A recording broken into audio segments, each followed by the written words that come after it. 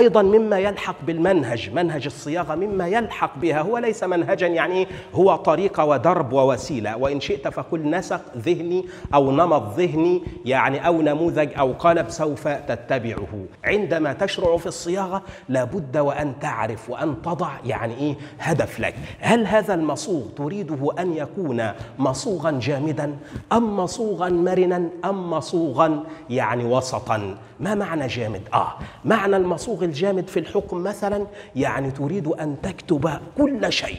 تجعل النص جامد فإن كان نصا لا يستطيع القاضي أن يخرج عنه. هذا مثل نص قانون العقوبات. قانون العقوبات يعني انظروا إلى صياغته. قانون العقوبات هذا 1937 أيام الملك وأيام مصطفى باشا النحاس يعني ذلك القانوني والقاضي ورئيس مجلس الأمة وزر كثيرا هذا الوفدي العظيم. انظروا إلى الصياغة. تقول المادة 13 كل محكوم عليه بالإعدام يشنق. شوف انظر إلى الصياغة هذا يسمى نص جامد يعني لا حيلة لا سبيل لا وسيلة. لو أنه قال يعاقب بعقوبة قاسية تصل إلى الشنق أو تصل إلى الإعدام لفسح وأوسع. ولو ذكر له حدين إما أن يكون حكمه مؤبدا أو اعداما. لأعطى للقاضي طرفين كما هو معروف فيكون للقاضي أن يفرد ويكون للقاضي سلطة تقديرية. لا هنا النمط الأول يسمى النمط الجامد الحكم الجامد. كل كل يا الله لفظة يعني تشمل الكافة مغرقة وموغلة في التنكير أي شيء. كل محكوم عليه بالإعدام. كل محكوم عليه بالإعدام يشنق يعني فعل ورد فعل. انظروا إلى جمود النص انظروا إلى أحكام النص. هذا هو الإيه؟ النمط الأول أو الدرب الأول. أن يكون مصوغك جامدا. وقد يكون مصوغك مرن. ما معنى مرن؟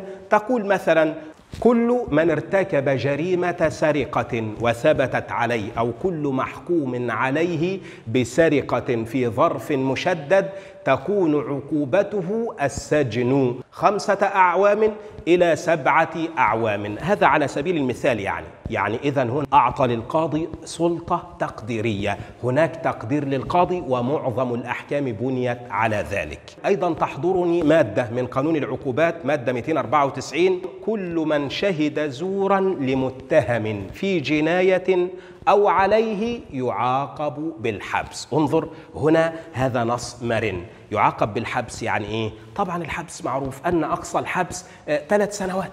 فما زاد عن ذلك هو سجن فقال بالحبس. وهذا الحبس يكون من 24 ساعة حتى ثلاثة أعوام. انظروا للقاضي ها هنا سلطة تقديرية. أيضا المادة 297 في قانون العقوبات تقول كل من شهد زورا في دعوى مدنية يعاقب بالحبس مدة لا تزيد على سنتين. مدة لا تزيد عن سنتين قد تكون سنة قد تكون سنة ونصف فأعطى حدا أقصى. أما الحد الأدنى متروك للقاضي وللظروف وللتفريد ويعني لمذهبية القاضي وقناعته ولما يراه القاضي. هذا يسمى نص مرن فاعلم ذلك. والمرونة تدخل في كل صياغات النصوص حتى في العقود. يعني العقد قد يكون إيه؟ مفتوح هناك خيار. هذا هو ما يسمى خيار المتعاقدين.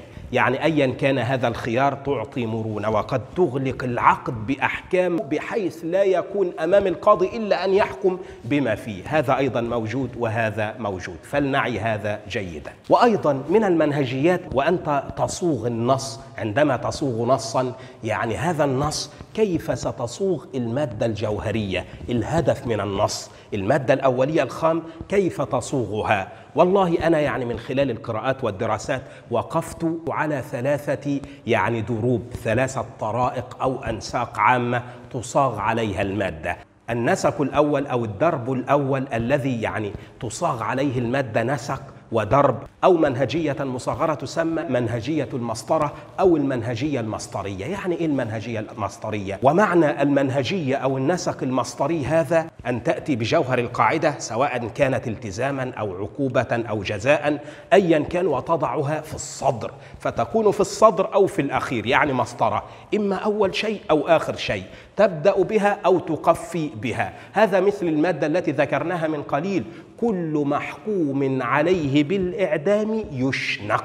هذا نمط مصدري. أرأيتم؟ يشنق الشنق اللي هو الجزاء والعقوبة الرادعة الفظيعة المخيفة هي في نهاية المسطرة. مسطرة الجملة وقد تكون في الصدارة قد نقول في هذه الصياغة يشنق كل محكوم عليه بالإعدام. انظر سواء قدمتها أو أخرتها هذا نمط أو منهجية أو نسق مصدري. هذا ما نقصد به بالمسطرة. وهناك نسق آخر أسميته نسقا دائريا. ما معنى النسق الدائري؟ يعني تضع الشنق على سبيل المثال في الوسط وتدور حوله. فمثلا تقول يعني المحكوم عليه يشنق إن كان محكوما عليه بالإعدام. يعني أتينا بنص سابق نص لاحق. حاولنا أن ندور إيه؟ حوله. هو يحتاج إلى أمثلة سنذكرها إن شاء الله في المستوى الأعلى المطول. هذه أيضا طريقة رائعة في الصياغة وهي أخف من النمط المصدري أما بالنسبة للنمط أو النسق أو النهجة الثالثة للصياغة نهجة تسمى بالنهجة أو بالنسق أو بالنمط الدفتري. ما معنى الدفتري؟ أرأيتم الكتاب؟ أرأيتم مثلا دفتر أو كتاب هكذا. يعني المادة تكون موجودة يعني إيه؟ نمط دفتري موزعة موزعة في أوله وفي وسطه وفي آخره أو في سياق الجملة كل كلمة تدل عليها. ومثال ذلك مثلا المادة 264 في قانون العقوبات. لا عقاب على الشروع في الإسقاط. انظروا نمط دفتري. يعني إيه؟ نسق دفتري. لا عقاب على الشروع في الإسقاط. يعني الأمر بسيط جدا وسهل. ومثلها أيضا أو يقاربها المادة 56 56 من الدستور والتي تقول السجن دار إصلاح وتأهيل. السجن دار إصلاح وتأهيل. هنا نمط دفتري. يعني كل كلمة فيها جزء من المعنى كأنما هو دفتر فيه أوراق. الأوراق تتوالى والأفكار تتتالى والفكرة تتضح بعمومها لا بأولها أو آخرها كما في النمط المصدري ولا بوسطها ومركزها كما في النمط أو في النسق الدائري. هذا على سبيل التقريب وللأمر يعني ذيول وطلول وتطبيقات كثيرة قد نأتي عليها بإذن الله في الدورة الأعلى من هذه الدورة.